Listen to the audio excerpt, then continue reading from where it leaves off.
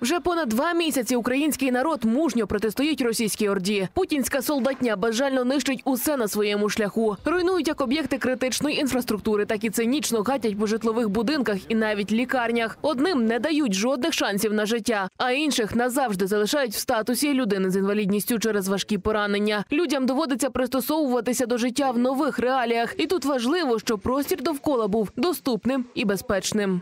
Безбар'єрність це комплекс е, всього, але ну, звичайно, в більшості це е, можливість е, дістатися з однієї точки в іншу. Да?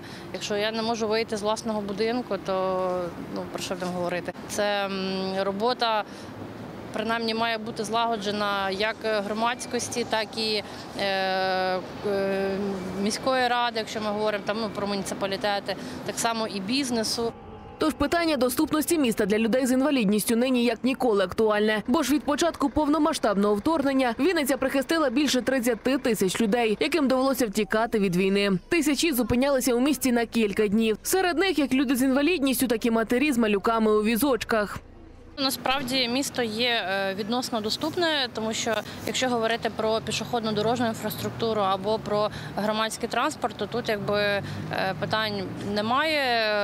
Е, В більшості питання, якщо є якісь перешкоди або бордюри, то вони вирішуються дуже швидко. Тобто Вінниця над цим працює досить системно і давно. Ще з 2006 року у місті працює служба перевезень для людей з інвалідністю при громадській організації Гармонія. Як до повномасштабної війни, так і зараз ця послуга безкоштовна. По територіальній громаді ми маємо можливість перевозити людей. Тобто це можуть бути лікарні, це можуть бути якісь навчальні заклади, це можуть бути якісь ем, е, прозорі офіси або е, інші заклади, які надають якісь е, послуги кожного дня в будні дні, але заявку робити за два робочих дні. Дзвонити до диспетчера е, і все. Е, Якщо це залізничні або е, автовокзали, то цілодобово, але також робити заявку треба зарані. Скористатися послугою перевезення у Вінниці можуть і вимушені переселенці. Від початку війни запит на послуги служби перевезення був.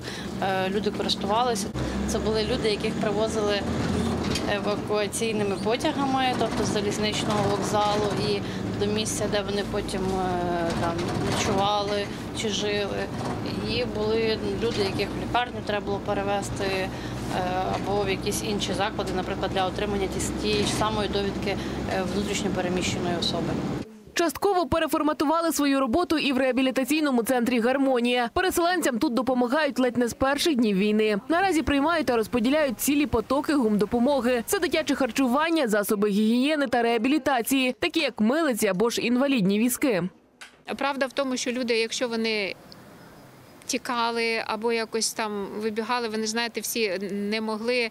Там кожен квадратний сантиметр в автомобілі чи будь-якому засобі він був заповнений. І так, щоб взяти ще з собою візок і взяти з собою ще засобів гігієни, там і взяти ще чогось, люди, звичайно, цього не могли. А без візка, якщо людина користувач інвалідного візка, вона просто ну це як ноги.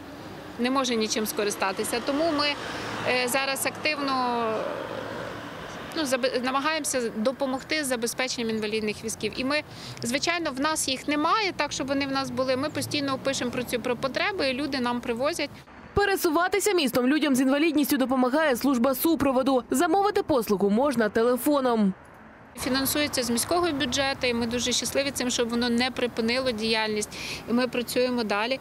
І якщо людина не може там спуститися з поверху, да, наприклад, навіть якщо ми дали візок, але людині вийти на двір.